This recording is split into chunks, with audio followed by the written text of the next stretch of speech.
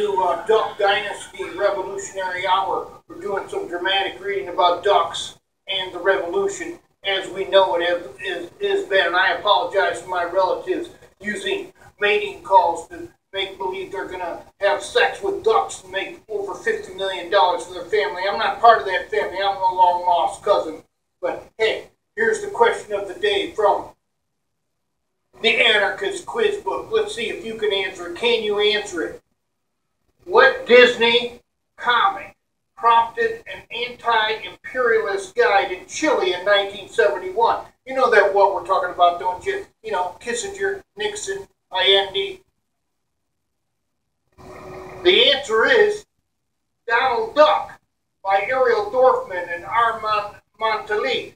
It showed how comics were aimed at reproducing an American worldview. The title of the comic, still available, is called How to Read Donald Duck. So I hope you'll take this back home and tell all the kids that we're sorry about the ducks, and uh, we'll, see you next episode on Revolutionary Donald. Duck